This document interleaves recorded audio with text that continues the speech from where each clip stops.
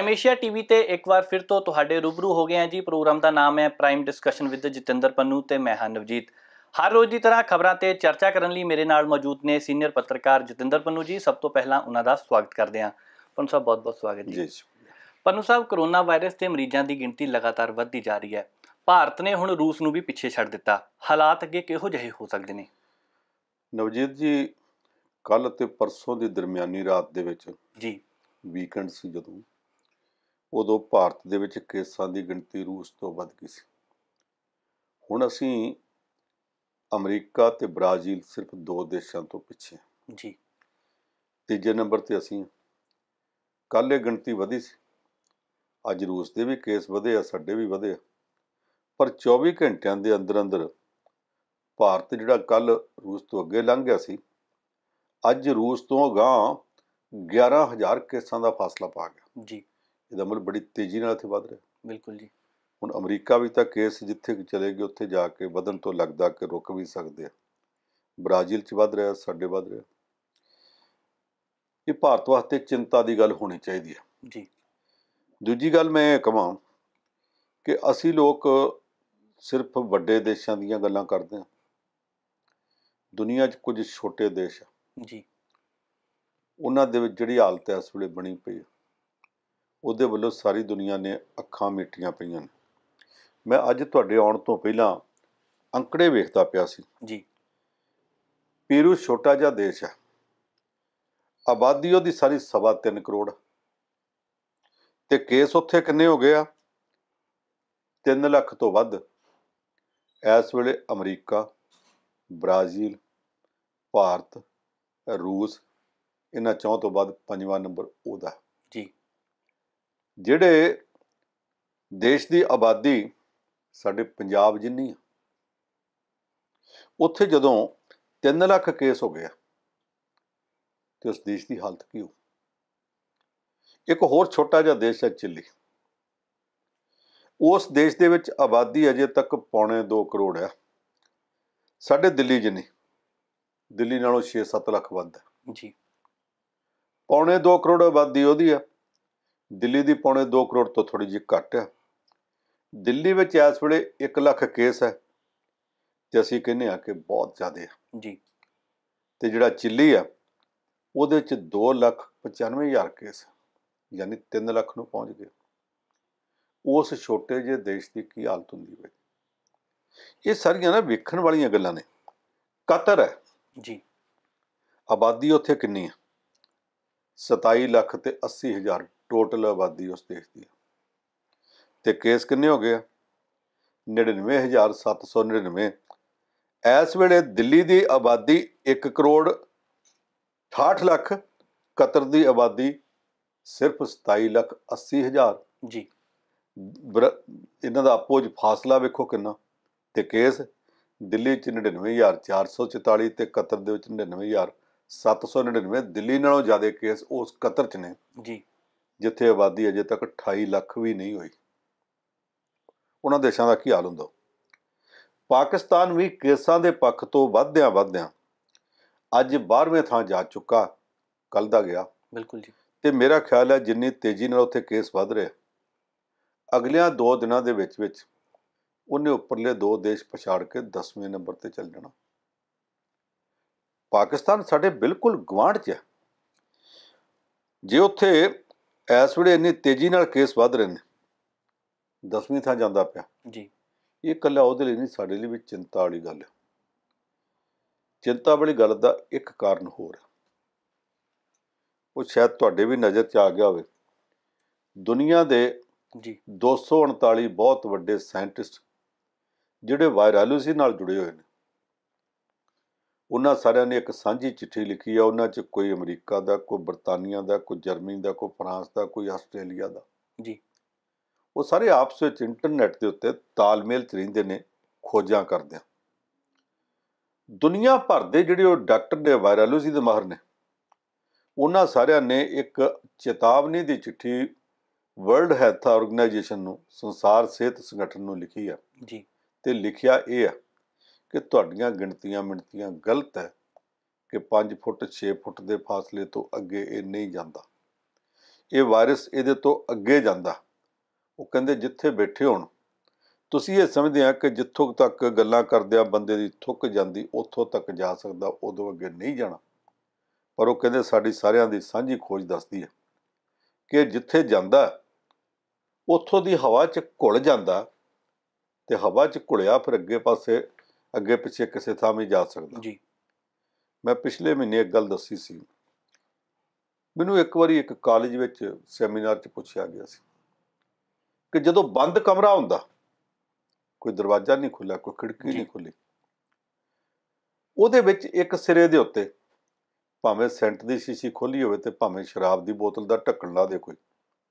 ਦੂਸਰੇ ਦੇ ਸਿਰੇ ਤੇ ਬੈਠਿਆਂ ਨਾ ਤਾਂ ਪੱਖਾ ਚੱਲਦਾ ਨਾ ਖਿੜਕੀਆਂ ਖੁੱਲੀਆਂ ਇਹਦੀ ਖੁਸ਼ਬੂ ਜਾਂ ਬਦਬੂ ਉਸ ਸਿਰੇ ਤੱਕ ਬੈਠੇ ਬੰਦੇ ਨੂੰ ਕਿੱਦਾਂ ਪਹੁੰਚ ਜਾਂਦੀ ਹੈ? ਜੀ। ਤੇ ਮੈਂ ਉਹਨੂੰ ਕਿਹਾ ਸੀ ਇਹਨੂੰ ਪਰਖਣਾ ਹੋਵੇ ਤੇ ਕਿਸੇ ਦਿਨ ਧੁੱਪ ਲੱਗੀ ਤੋਂ ਬੱਤੀਆਂ ਬੁਝਾ ਦਿਓ ਦਰਵਾਜ਼ਾ ਜਾਂ ਖਿੜਕੀ ਉਹਦੇ ਚੋਂ ਜਿਹੜੇ ਪਾਸਿਓਂ ਧੁੱਪ ਆਉਂਦੀ ਆ ਉੱਥੋਂ ਛੋਟਾ ਜਿਹਾ ਛੇਕ ਛੱਡ ਦਿਓ। ਜਦੋਂ ਧੁੱਪ ਸਿੱਧੀ ਕਮਰੇ 'ਚ ਪਵੇਗੀ ਪਾਸੇ ਖਲੋ ਕੇ ਵੇਖਿਓ ਧੁੱਪ ਇਸ ਤਰ੍ਹਾਂ ਪੈਣੀ ਜਿਵੇਂ ਟਾਰਚ ਰਾਤ ਨੂੰ ਹਨੇਰੇ 'ਚ ਪੈਂਦੀ ਹੈ। ਜੀ। ਤੇ ਫਿਰ ਉਹ 'ਚ ਵੇਖੋ ਨਿੱਕੇ ਨਿੱਕੇ ਕਣਕੇ ਤਰ੍ਹਾਂ ਚਾਰ ਚੁਰੇ ਭੱਜੇ ਫਿਰਦੇ ਆ।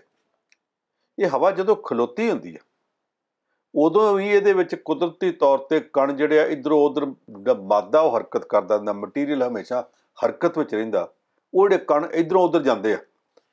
ਜੇ ਉਹ ਸੈਂਟ ਦੀ ਖੁਸ਼ਬੂ ਕਮਰੇ ਦੀ ਐਸ ਨੁੱਕਰ ਤੋਂ ਉਹ ਦੂਸਰੀ ਨੁੱਕਰ ਤੱਕ ਲਿਜਾ ਸਕਦੇ ਆ। ਜੀ। ਸ਼ਰਾਬ ਦੀ ਬਦਬੂ ਐਸ ਨੁੱਕਰ ਤੋਂ ਉਸ ਨੁੱਕਰ ਤੱਕ ਲਿਜਾ ਸਕਦੇ ਆ। ਇਹ 239 ਦੁਨੀਆ ਦੇ ਪਰਖੇ ਹੋਏ ਸਾਇੰਸਦਾਨ ਕਹਿੰਦੇ ਆ ਕਿ ਜਿਹੜਾ ਕਰੋਨਾ ਵਾਇਰਸ ਆ ਇਹਦਾ ਵਾਇਰਸ ਇਹ ਵੀ ਇਸ ਹਵਾ 'ਚ ਜਾਣ ਤੋਂ ਬਾਅਦ ਟਰੈਵਲ ਕਰਦਾ ਤੇ ਉਹਨਾਂ ਕਣਕਾਂ ਨਾਲ ਦੂਰ ਤੱਕ ਜਾ ਸਕਦਾ ਉਹਨਾਂ ਨੇ ਪਹਿਲੀ ਚੀਜ਼ ਇਹ ਰეკਮੈਂਡ ਕੀਤੀ ਹੈ ਕਿ ਬੱਸਾਂ ਦਾ ਸਫ਼ਰ ਬੰਦ ਕਰ ਦਿਓ ਕਿਉਂਕਿ ਬੱਸ ਵਿੱਚ ਇੱਕ ਵਾਰੀ ਵੜ ਗਿਆ। ਇਹਨੇ ਅੱਗੋਂ ਡਰਾਈਵਰ ਤੋਂ ਲੈ ਕੇ ਪਿੱਛੇ ਤੱਕ ਕਿਹੜੀਆਂ-ਕਿਹੜੀਆਂ ਸੀਟਾਂ ਤੱਕ ਸੈਰ ਸਪਾਟਾ ਕਰਨਾ ਤੇ ਕਿੰਨੇ ਬੰਦਿਆਂ ਨੂੰ ਇਨਫੈਕਟਡ ਕਰੂਗਾ। ਕੁਝ ਨਹੀਂ ਕਿਹਾ ਜਾ ਸਕਦਾ। ਇਹ ਸਭ ਤੋਂ ਖਤਰਨਾਕ ਸਥਿਤੀ ਆ। ਕੱਲ ਨੂੰ ਜੇ ਬੱਚਿਆਂ ਦੇ ਸਕੂਲ ਖੁੱਲ੍ਹਣੇ ਪਏ ਜਾਂ ਸ਼ਾਪਿੰਗ ਮਾਲ ਵੀ ਹੁਣ ਖੁੱਲ ਗਏ ਉੱਥੇ ਜਾ ਕੇ ਕੀ ਬਣੇਗਾ? ਉਹ 239 ਸਾਇੰਟਿਸਟਾਂ ਦੀ ਚੇਤਾਵਨੀ ਅੱਜ ਤੜਕੇ 3 ਵਜੇ ਮੈਂ ਉੱਠਿਆ ਸੀ। ਜੀ। ਉਦੋਂ ਜਦੋਂ ਮੈਂ ਪੜ੍ਹੀ ਤੇ ਉਸ ਵਕਤ ਤੋਂ ਮੈਂ ਸੋਚੀ ਜਾਂਦਾ ਕਿ ਐਡੀ ਵੱਡੀ ਚੇਤਾਵਨੀ ਹੈ? ਇਹ ਇਹ- ਇਹਦਾ ਮਤਲਬ ਇਹ ਤੇ ਹੋਰ ਵੀ ਅਗਲੀਆਂ ਹੱਦਾਂ ਪਾਰ ਕਰ ਗਿਆ। ਬਿਲਕੁਲ ਇਸ ਕਰਕੇ ਹਰ ਕਿਸੇ ਨੂੰ ਸਟੇਟ ਰਹਿਣਾ ਚਾਹੀਦਾ। ਇੱਕ ਦੂਸਰੇ ਨੂੰ ਸਲਾਹਾਂ ਨਾ ਦਈਏ ਆਪਣੇ ਆਪ ਨੂੰ ਬਚਾਈਏ ਆਪਣੇ ਨੂੰ ਬਚਾਈਏ ਤੇ ਘਰਦਿਆਂ ਨੂੰ ਤੇ ਨਾਲਦਿਆਂ ਨੂੰ ਵੀ ਬਚਾਈਏ। ਇਹ ਮੈਂ ਇਸ ਕਰਕੇ ਵੀ ਕੱਲ ਕਹਿਣ ਲੱਗਾ ਮੈਨੂੰ ਪਤਾ ਗੱਲ ਲੰਮੀ ਹੋ ਰਹੀ ਹੈ। ਜੀ। ਹੈਦਰਾਬਾਦ 'ਚ ਕੱਲ ਇੱਕ ਬਹੁਤ ਵੱਡਾ ਜਿਊਲਰ ਮਰ ਗਿਆ। ਬੇਵਕੂਫੀ ਨਾਲ ਮਰ ਗਿਆ। ਉਹਦਾ ਜਨਮ ਦਿਨ ਸੀ 100 ਬੰਦੇ ਸੱਦ ਲਏ। ਪਤਾ ਨਹੀਂ ਕੌਣ ਉਹ ਚੋਂ ਕਰੋਨਾ ਵਾਇਰਸ ਪੋਜ਼ਿਟਿਵ ਸੀ। ਪਹਿਲਾਂ ਤਾਂ ਇਹ ਮਰਿਆ ਤੇ ਹੁਣ ਪਤਾ ਲੱਗਾ 80 ਬੰਦੇ ਹੋਰ ਕਰੋਨਾ ਵਾਇਰਸ ਪੋਜ਼ਿਟਿਵ ਹੈ ਜੀ। ਉੱਥੇ ਇੱਕ ਪੁਲਿਸ ਇੰਸਪੈਕਟਰ ਸੀ। ਉਹਨੇ ਆਪਣੇ ਪਰਿਵਾਰ ਦੇ ਵਿੱਚ ਬੱਚਾ ਪੈਦਾ ਹੋਣ ਦੀ, ਪਤਾ ਨਹੀਂ ਉਹਦੇ ਹੋਇਆ ਕਿ ਭਰਾ ਦੇ ਹੋਇਆ ਕਿ ਗਾ ਪੋਤਰਾ ਹੋਇਆ, ਉਹਦੀ ਖੁਸ਼ੀ 'ਚ ਮਠਿਆਈ ਵੰਡੀ। ਆਪ ਤਾਂ ਕਰੋਨਾ ਵਾਇਰਸ ਪੋਜ਼ਿਟਿਵ ਹੈ ਪਰਿਵਾਰ ਦੇ ਦੋ ਜੀਵ ਆ ਤੇ ਜਿਨ੍ਹਾਂ ਨੂੰ ਮਠਿਆਈ ਵੰਡੀ ਗਈ, ਉਹਨਾਂ ਵਿੱਚੋਂ 10-12 ਘਰ ਜਿਹੜੇ ਆ, ਉਹਨਾਂ 'ਚ ਇਹ ਵਾਇਰਸ ਚਲਾ ਗਿਆ। ਇਹ ਜਿਹੜੀਆਂ ਇਦਾਂ ਦੀਆਂ ਘਟਨਾਵਾਂ ਨੇ, ਇਹਦਾ ਮਤਲਬ ਇਹ ਆ ਕਿ ਅਗਲਿਆਂ ਦਿਨਾਂ 'ਚ ਜੇ ਤੁਹਾਨੂੰ ਕੋਈ ਇਹੋ ਜਿਹਾ ਡੱਬਾ ਵੀ ਦੇਣ ਆਉਂਦਾ ਜੀ। ਉਹਨੂੰ ਭਾਜੀ ਤੁਸੀਂ ਦੇਤਾ ਅਸੀਂ ਲੈ ਲਿਆ। ਹੱਸ ਦੰਦਾਂ ਦੀ ਪ੍ਰੀਤ ਹੀ ਬਹੁਤ ਆ। ਤੁਸੀਂ ਆ ਗਏ ਬਿਹਤਰ ਤੇ ਅਸੀਂ ਫੋਨ ਹੀ ਕਰ ਲੈਂਦੇ। ਤੁਸੀਂ ਉੱਥੇ ਸੁਖੀ ਰਹੋ। ਅਸੀਂ ਇੱਥੇ ਸੁਖੀ ਰਹੀਏ। ਇਹ ਫਾਸਲੇ ਰੱਖਣੇ ਪੈਣੇ। ਬਿਲਕੁਲ ਜੀ। ਪਰ ਸਾਹਿਬ ਚੀਨ ਵੀ ਸੁਣਿਆ ਕਿ ਸਰਹੱਦ ਤੋਂ ਪਿੱਛੇ ਹਟ ਗਿਆ। ਇਹ ਕੋਈ ਗੱਲਬਾਤ ਦਾ ਨਤੀਜਾ ਨਿਕਲਿਆ ਜਾਂ ਹੋਰ ਕਾਰਨ ਹੈ ਇਹਦੇ ਪਿੱਛੇ? ਪਤਾ ਨਹੀਂ ਕਾਰਨ ਕੀ ਹੈ। ਸਾਡਾ ਮੀਡੀਆ ਤੇ ਕਹਿੰਦਾ ਚੀਨ ਡਰ ਗਿਆ। ਪੂਛ ਦਬਾ ਕੇ ਭੱਜ ਗਿਆ। ਜੀ। ਜਦੋਂ ਆਉਂਦਾ ਉਦੋਂ ਸਾਡਾ ਮੀਡੀਆ ਦੂਸਰੇ ਪਾਸੇ ਲੱਪਦਾ ਸਰਕਾਰ ਕਰਦੀ ਕੀ ਆ? ਚੀਨ ਤਾਂ ਚੜਿਆ ਆਉਂਦਾ। ਜੀ। ਮੀਡੀਆ ਕੀ ਕਹਿੰਦਾ ਉਹਨੂੰ ਛੱਡ ਦਿਓ। ਅਮਰੀਕਾ ਵਾਲਿਆਂ ਦੇ ਦੋ ਤਿੰਨ ਬੇੜੇ ਇਸ ਪਾਸੇ ਘੁੰਮਦੇ ਘੁੰਮਦੇ ਚੀਨ ਦੇ ਨੇੜੇ ਚਲੇ ਗਏ ਸੀ। ਜੀ। ਅਮਰੀਕਾ ਦੇ ਰਾਸ਼ਟਰਪਤੀ ਡੋਨਲਡ ਟਰੰਪ ਨੇ ਕੱਲ ਬਿਆਨ ਦਿੱਤਾ ਸੀ ਕਿ ਅਸੀਂ ਇਸ ਸੰਕਟ ਦੀ ਘੜੀ 'ਚ ਚੀਨ ਦੇ ਵਿਰੋਧ ਵਿੱਚ ਵੀ ਭਾਰਤ ਦੇ ਨਾਲ ਖੜੇ। ਇਹਦੇ ਤੋਂ ਬਾਅਦ ਚੀਨ ਦੇ ਅਖਬਾਰ ਗਲੋਬਲ ਟਾਈਮਜ਼ ਨੇ ਉਹ ਸਰਕਾਰੀ ਅਖਬਾਰ ਜੀ। ਤੇ ਸੰਸਾਰ ਪੱਧਰ ਦੇ ਉੱਤੇ ਉਹਦੀ ਗੱਲ ਜਾਂਦੀ ਜਿਹੜੀ ਕਵੇ। ਉਹਨੇ ਅਮਰੀਕਾ ਨੂੰ ਇੱਕ ਦੀ ਚੇਤਾਵਨੀ ਦਿੱਤੀ ਸੀ ਕਿ ਸਾਡੇ ਕੋਲ ਫਲਾਣੀਆਂ ਫਲਾਣੀਆਂ ਡੀ ਕੈਟਾਗਰੀ ਦੀਆਂ ਮਿਜ਼ਾਈਲਾਂ ਵੀ ਆ। ਸਾਨੂੰ ਅੱਖਾਂ ਨਾ ਵਿਖਾਓ। ਸਾਡੀ ਤਾਕਤ ਤੁਸੀਂ ਨਹੀਂ ਜਾਣਦੇ। ਤੇ ਅੱਗੋਂ ਅਮਰੀਕਾ ਵਾਲਿਆਂ ਨੇ ਆਖਿਆ ਜੀ ਤੁਹਾਡੀਆਂ ਮਿਜ਼ਾਈਲਾਂ ਦਾ ਸਾਨੂੰ ਪਤਾ ਹੁੰਦਿਆਂ ਵੀ ਅਸੀਂ ਆਪਣੇ ਸ਼ਿਪ ਭੇਜੇ ਆ ਤੇ ਤੁਹਾਡੇ ਪਾਣੀਆਂ ਦੇ ਨੇੜੇ ਨੇੜੇ ਫਿਰਦੇ ਆ। ਜੀ। ਤੁਸੀਂ ਇਹ ਨਾ ਕਹੋ ਕਿ ਸਾਨੂੰ ਤੁਹਾਡਾ ਪਤਾ ਨਹੀਂ ਤੁਹਾਨੂੰ ਸਾਡਾ ਪਤਾ ਨਹੀਂ ਪਤਾ ਦੋਵਾਂ ਤਰ੍ਹਾਂ ਨੂੰ। ਪਰ ਅਸੀਂ ਭਾਰਤ ਨਾਲ। ਇਹਦੇ ਤੋਂ ਬਾਅਦ ਅੱਜ ਖਬਰ ਆਈ ਹੈ ਕਿ ਚੀਨ ਨੇ ਗਲਵਾਨ ਘਾਟੀ ਚੋਂ ਵੀ ਬਾਕੀ ਥਾਵਾਂ ਤੋਂ ਵੀ ਆਪਣੀ ਫੌਜ 1.5 ਕਿਲੋਮੀਟਰ ਪਿੱਛੇ ਹਟਾ ਲਈ ਹੈ। ਜੀ ਪਿਛਲੀਆਂ ਦਿਨਾਂ 'ਚ ਡਿਪਲੋਮੈਟਿਕ ਪੱਧਰ ਦੀ ਗੱਲ ਵੀ ਚੱਲਦੀ ਰਹੀ ਫੌਜੀ ਅਧਿਕਾਰੀਆਂ ਦੀ ਮੀਟਿੰਗ ਵਿੱਚ ਵੀ ਇਹ ਸਹਿਮਤੀ ਹੋਈ ਸੀ ਕਿ ਫੌਜਾਂ ਪਿੱਛੇ ਹਟਾਵਾਂਗੇ ਅਸੀਂ ਇਹ ਨਾ ਆਖੀਏ ਕਿ ਅਮਰੀਕਾ ਵਾਲੀ ਮੰਗਵੀਂ ਧਾੜ ਤੋਂ ਡਰਦਾ ਉਹ ਪਿੱਛੇ ਹਟ ਗਿਆ। ਅਸੀਂ ਆਖੀਏ ਕਿ ਸ਼ੁਕਰ ਹੈ ਪਿੱਛੇ ਹਟ ਗਿਆ। ਅਸੀਂ ਜ਼ਰੂਰ ਉਹਨੂੰ ਲਲਕਾਰਨਾ। ਹੁਣ ਆ। ਜੀ। ਡਰਿਆ ਕਿ ਨਹੀਂ? ਆ ਜਾ ਤੈਨੂੰ ਵੇਖ ਲਾਂਗੇ। ਇਦਾਂ ਜੇ ਇੱਕ ਦੂਸਰੇ ਨੂੰ ਲਲਕਾਰੀਏ ਤੇ ਉਹ ਵੀ ਠੀਕ ਨਹੀਂ ਹੁੰਦਾ। ਅਮਰੀਕਾ ਨੇ ਇੱਥੇ ਨਹੀਂ ਰਹਿਣਾ। ਜੀ। ਗੁਆਂਢ ਅਸੀਂ ਵਸਣਾ। ਜੇ ਅੱਗ ਠੰਡੀ ਹੁੰਦੀ ਹੋਵੇ ਤੇ ਹੋਣ ਦੇਣੀ ਚਾਹੀਦੀ ਹੈ ਨਹੀਂ ਤੇ ਜੇ ਅੰਗਿਆਰੀਆਂ ਡਿੱਗਣੀਆਂ ਤੇ ਦੋਵੇਂ ਪਾਸੇ ਘਰ ਲੂਸਦੇ ਹੁੰਦੇ ਆ ਜੀ। ਉਹਦੇ ਤੋਂ ਬਚਣਾ ਚਾਹੀਦਾ।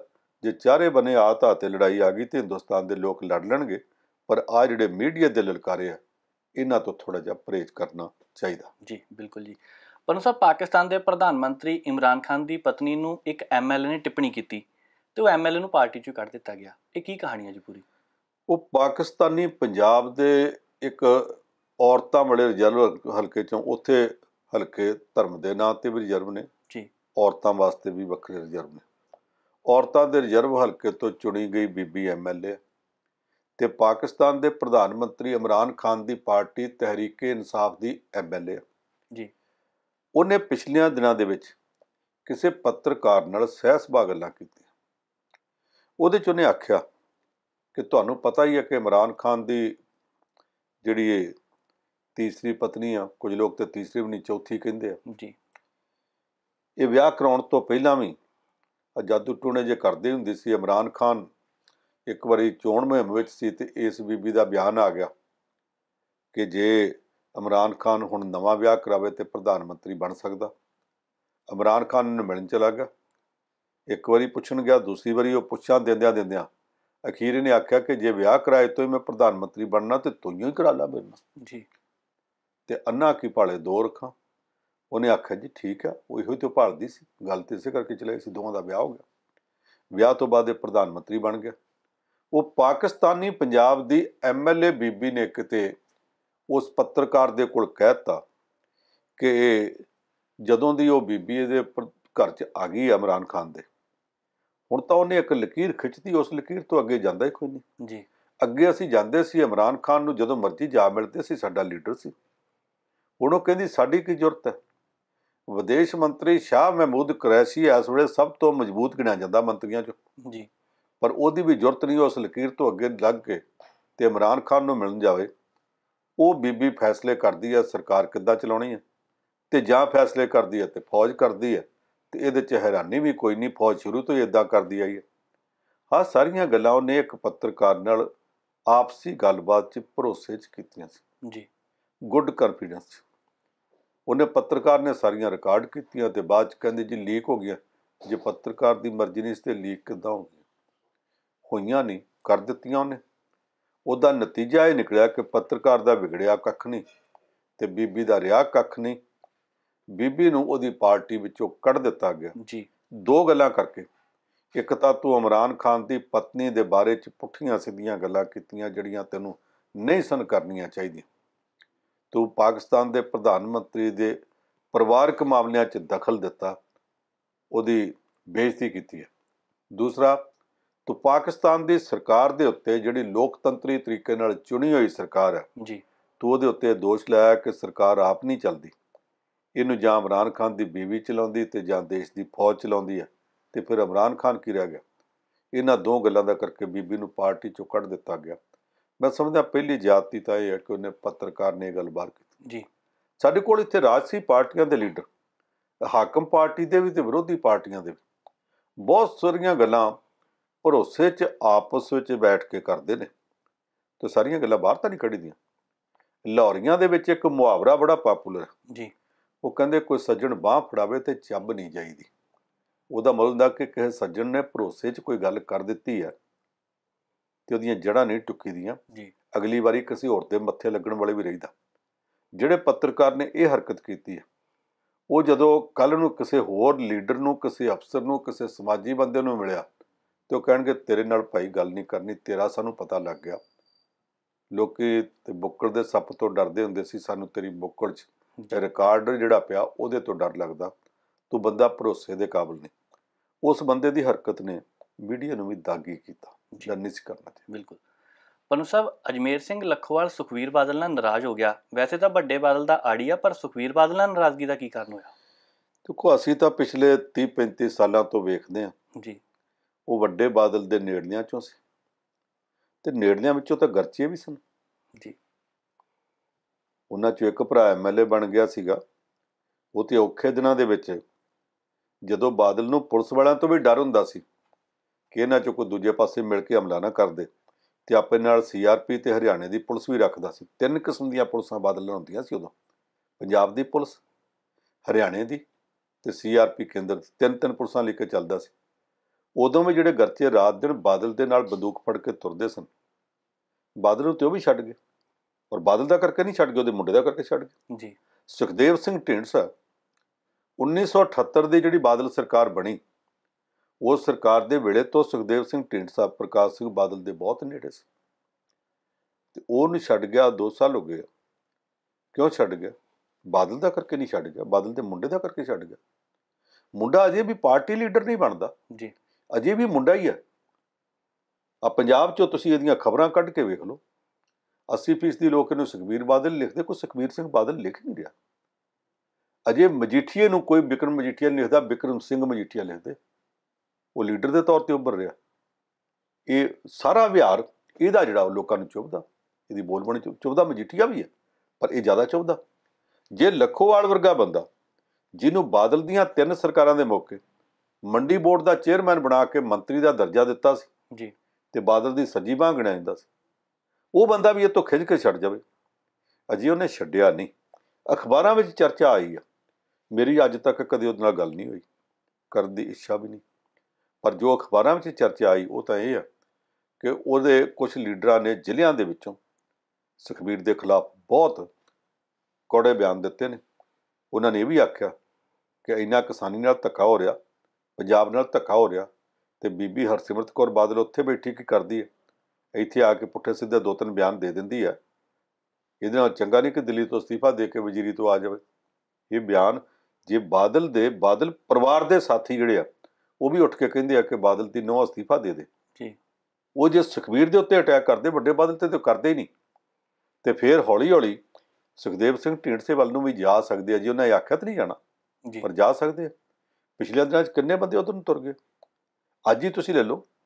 ਉਹ ਤਜਿੰਦਰਪਾਲ ਸਿੰਘ ਸੰਧੂ ਤਜਿੰਦਰ ਸਿੰਘ ਸੰਧੂ ਜਿਹੜਾ ਉਹ ਪੁਰਾਣੇ ਅਕਾਲੀ ਪਰਿਵਾਰ ਚੋਂ ਇੱਕ ਸਟੇਜ ਦੇ ਉੱਤੇ ਉਹਨੇ ਚੋਣ ਵੀ ਲੜੀ ਸੀ ਹਾਰ ਗਿਆ। ਬਾਦਲ ਸਾਹਿਬ ਦੀ ਇੱਕ ਸਰਕਾਰ ਵੇਲੇ ਉਹ ਪੰਜਾਬ ਦੇ ਇੱਕ ਬਹੁਤ ਵੱਡੇ ਅਦਾਰੇ ਦਾ ਚੇਅਰਮੈਨ ਵੀ ਰਿਹਾ। ਇਹਨਾਂ ਤੋਂ ਤੰਗ ਆ ਕੇ ਆ ਨਵੇਂ ਪੋਜ ਤੋਂ ਤੰਗ ਆ ਕੇ ਉਹ ਕਾਂਗਰਸ ਵਿੱਚ ਚਲਾ ਗਿਆ ਸੀ। ਤੇ ਲੋਕੀ ਉਦੋਂ ਵੀ ਕਹਿੰਦੇ ਸੀ ਕਾਂਗਰਸ ਵਿੱਚ ਚਲਾ ਤੇ ਗਿਆ। ਇਹਦੇ ਅੰਦਰਲਾ ਅਕਾਲੀ ਪੁਣਾ ਨਹੀਂ ਗਿਆ ਇਹਨੇ ਬਹੁਤਾ ਚਿਰ ਕਾਂਗਰਸ ਵਿੱਚ ਰਹਿਣਾ ਨਹੀਂ। ਜੀ। ਇਹ ਵਾਪਸ ਆਊਗਾ। ਉਹ ਵਾਪਸ ਆਇਆ ਕਾਂਗਰਸ ਨੂੰ ਛੱਡ ਗਿਆ। ਤੇ ਵਾਪਸ ਆ ਕੇ ਸੁਖਬੀਰ ਵੱਲ ਤਾਂ ਨਹੀਂ ਗਿਆ।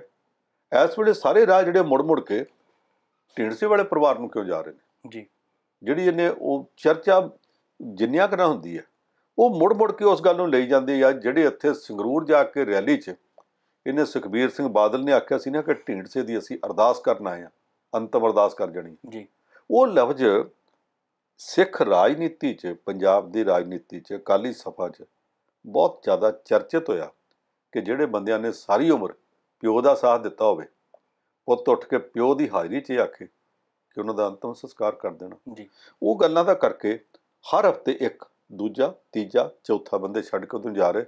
ਮੈਨੂੰ ਨਹੀਂ ਪਤਾ ਇਹ ਲੱਖੋਵਾਲ ਕਿੱਧਰ ਨੂੰ ਜਾਂਦਾ। ਲੱਖੋਵਾਲ ਨੇ ਮੀਟਿੰਗ ਸੱਦ ਲਈ ਹੈ 10 ਤਰੀਕ ਨੂੰ। ਉਹਦੇ ਵਿੱਚ ਕੀ ਫੈਸਲਾ ਲੈਂਦਾ ਉਦੋਂ ਵੇਖਿਆ ਜੋ ਪਰ ਹਾਲ ਦੀ ਘੜੀ ਹੈ ਕਿ ਬਾਪੂ ਦੀਆਂ ਸਾਰੀ ਉਮਰ ਦੀਆਂ ਬਾਹਾਂ ਉਹਦਾ ਸਾਥ ਛੱਡ ਛੱਡ ਕੇ ਮੁੰਡੇ ਤੋਂ ਤੇ ਨੌ ਤੋਂ ਕੌੜ ਚ ਆ ਕੇ ਪਾਸੇ ਹੋ ਰਹੇ ਨੇ। ਜਿਹੜਾ ਕੇਰਾ ਲੱਗਣਾ ਸ਼ੁਰੂ ਹੋਇਆ ਅੱਗੇ ਤੋਂ ਅੱਗੇ ਵੱਧਦਾ ਜਾਊਗਾ। ਵੇਖੋ ਲੱਗਦਾ ਹੁਣ ਕੀ ਪਤਾ ਕੱਲ ਨੂੰ ਕੀ ਹਾਲਾਤ ਬਣਦੇ ਕੋਈ ਪਤਾ ਨਹੀਂ। ਠੀਕ। ਵੱਡਾ ਬਾਪੂ ਤੇ ਅੱਗੇ ਕੋਈ ਮੌਕਾ ਹੁੰਦਾ ਸੀ ਇਹੋ ਜਿਹੀਆਂ ਗੱਲਾਂ ਹੋਣ। ਤੇ ਵੱਡਾ ਬਾਪੂ ਆਪ ਸਾਰਿਆਂ ਨੂੰ ਫੜਨ ਵਾਸਤੇ ਪਲੋਸਣ ਵਾਸਤੇ ਮਨਾਉਣ ਵਾਸਤੇ ਤੁਰਦਾ ਸੀ। ਹੁਣ ਵੱਡਾ ਬਾਪੂ ਤੇ ਹਵੇਲੀ ਤੋਂ ਬਾਹਰ ਨਹੀਂ ਨਿਕਲਦਾ। ਜਾਂ ਨਿਕਲ ਨਹੀਂ ਦਿੱਤਾ ਜਾਂਦਾ। ਇਹ ਵੀ ਕੋਈ ਪਤਾ ਨਹੀਂਗਾ। ਜੀ। ਇਹ ਉਹਨਾਂ ਨੂੰ ਪਤਾ ਹੋਊਗਾ ਘਰ ਦੇ ਕੀ ਹਾਲਾਤ ਨੇ। ਜੀ। ਉਹਦਾ ਕਰਕੇ ਲਗਾਤਾਰ ਵਿਗਾੜ ਵੱਧ ਰਿਹਾ। ਬਿਲਕੁਲ। ਪਨੂ ਸਾਹਿਬ ਬੇਅਦਬੀ ਮਾਮਲਿਆਂ ਨਾਲ ਡੇਰਾ ਪ੍ਰੇਮੀ ਜਿਹੜੇ ਫੜੇ ਗਏ ਸੀਗੇ ਉਹਨਾਂ ਨੂੰ ਹੁਣ ਉਸ ਥਾਂ ਤੇ ਲਿਜਾਇਆ ਜਾ ਰਿਹਾ ਹੈ ਜਿੱਥੇ ਘਟਨਾ ਵਾਪਰੀ ਸੀਗੀ। ਇਹ ਕੇਸ ਹੁਣ ਕਿੱਧਰ ਨੂੰ ਜਾ ਰਿਹਾ? ਅੱਗੇ ਤੋਂ ਅੱਗੇ ਤੰਦਾਂ ਜੁੜਦੀਆਂ ਜਾ ਰਹੀਆਂ ਨੇ। ਇਹਨਾਂ ਨੂੰ ਅੱਗੇ ਵੀ ਲਿਜਾ ਕੇ ਕਰੀ ਵਿਖਾਇਆ ਗਿਆ ਸੀ। ਕੱਲ ਇਹਨਾਂ ਨੂੰ ਨਾਲ ਲੈ ਕੇ ਗਏ ਉੱਥੇ ਜਵਾਰ ਸਿੰਘ ਵਾਲਾ ਪਿੰਡ ਦੇ ਵਿੱਚ ਜੀ। ਜਿੱਥੋਂ ਸ੍ਰੀ ਗੁਰੂ ਗ੍ਰੰਥ ਸਾਹਿਬ ਦੀ ਬੀੜ ਚੋਰੀ ਹੋਈ ਸੀ। ਫਿਰ ਉਸ ਪਿੰਡ ਲੈ ਕੇ ਗਏ ਜਿੱਥੇ ਜਾ ਕੇ ਪਹਿਲਾਂ ਇਹ ਉੱਥੇ ਜਿਹੜਾ ਨਾਮ ਚਰਚਾ ਕਰ ਰਿਹਾ ਡੇਰਾ ਸੱਚਾ ਸੌਦਾ ਦਾ ਉੱਥੇ ਵੀ ਗਏ। ਉਹ ਕਾਰ ਵੀ ਜਿਹੜੀ ਉਹ ਸ਼ਨਾਖਤ ਕੀਤੀ ਜਿਹੜੀ ਕਾਰ 'ਚ ਲੱਦ ਕੇ ਲੈ ਕੇ ਗਏ ਸੀ।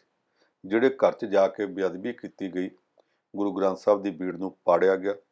ਉਹ ਘਰ ਵੀ ਵਿਖਾਇਆ ਗਿਆ ਔਰ ਇਹਦੇ ਤੋਂ ਬਾਅਦ ਫਿਰ ਜਿੱਥੇ ਜਿੱਥੇ ਉਹਨਾਂ ਨੇ ਵਾਰਦਾਤ ਕਰਦਿਆਂ ਗੁਰੂ ਗ੍ਰੰਥ ਸਾਹਿਬ ਦੇ ਪੱਤਰੇ ਜਿਨ੍ਹਾਂ ਨੂੰ ਸਿੱਖ ਸਮਾਜ ਗੁਰੂ ਸਾਹਿਬ ਦੇ ਅੰਗ ਮੰਨਦਾ ਉਹ ਜਿੱਥੇ ਸਿੱਧ ਖਿਲਾਰੇ ਗਿਆ ਸੀ।